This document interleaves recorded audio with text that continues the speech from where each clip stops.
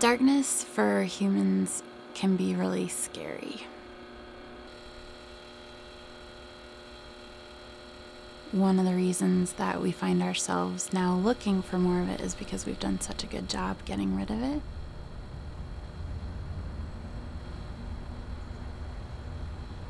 As soon as we had light through fire, we utilized that. And the consequence from switching from fire to electric light is that we didn't have to earn those photons anymore. All of a sudden, we could illuminate our whole night without much cost and without seemingly a consequence. And because we conflated light at night with safety, all of a sudden our natural night disappeared. When we're walking around the city at night, we can see evidence of our lack of awareness of how to protect natural night by an ever present acorn shaped light fixture. We experience glare from that light bulb, which tells our brains that it's time to be awake.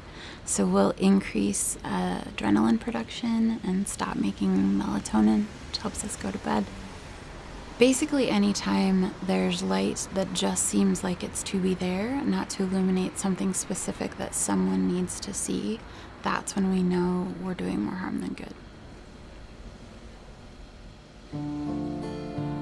You really have to leave the city to find true darkness.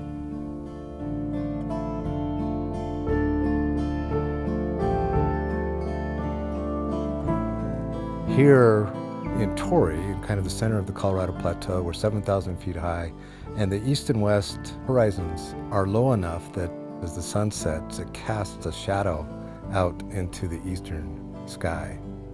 And that shadow begins to rise, and it, it has a dark color at the bottom, and then it turns lighter, and there's actually some colorations of orange, and then it goes back into the almost the daytime sky of blue. It is one of the best spots in the 48 states for an astronomical observatory.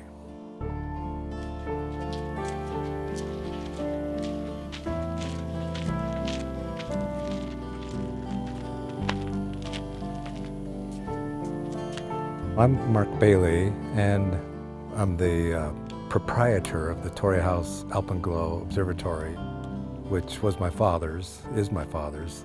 He asked me to move it down here because he had it up in Salt Lake City, which is heavy light pollution. So, um, I don't know, I'm, I'm an amateur astrophotographer. Capitol Reef National Park is a is an International Dark Sky Association dark sky park. We're protecting one of the last and wildest wildernesses.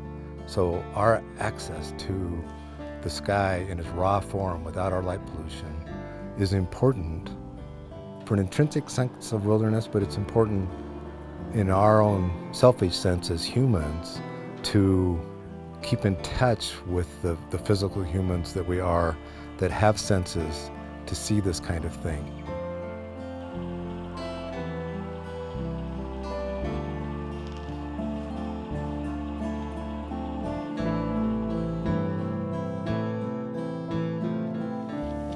Just below that cloud, Mars. Yep. Mm. On the horizon.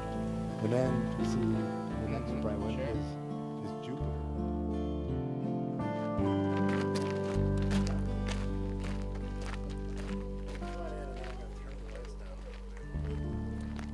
The word has been getting out a little bit that we have this observatory, and um, people are naturally drawn to this kind of telescopic portal to the deeper cosmos. That is Saturn. If you give it a minute, give it some nights,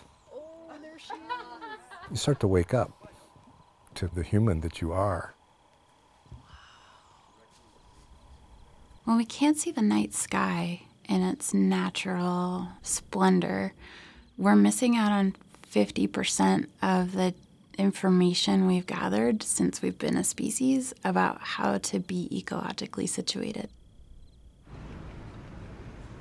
So, in addition to messing with our sleep wake cycles, too much light at night, even through our closed eyelids, can result in higher rates of breast cancer, can increase anxiety, depression, heart disease. Our bodies literally don't know when and how to rest. It's the biggest step we've taken away from um, being integrated into our ecology.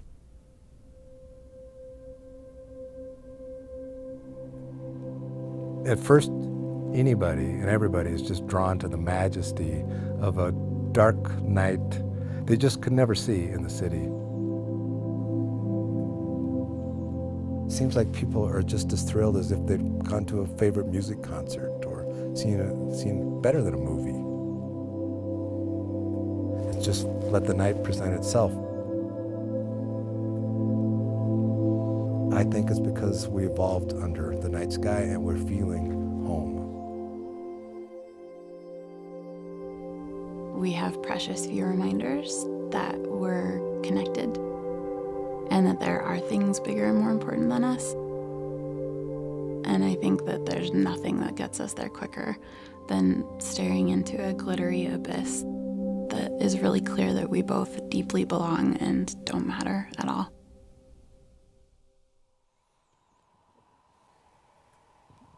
I um, have the the misfortune of um, losing a brother to suicide.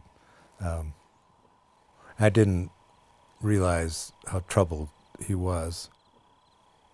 And when I think of Mike the most is often under a starry night.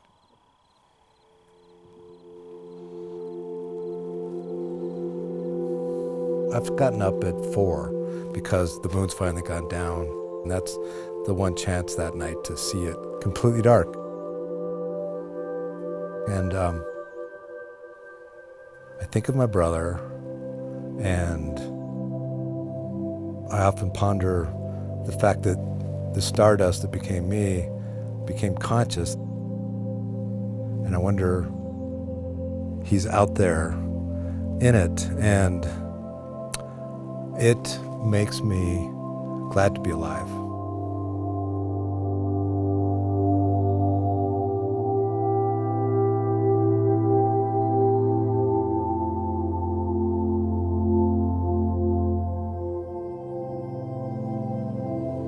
The night sky, with the sense of my brother in my mind,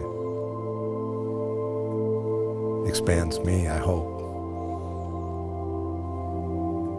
makes me a better person.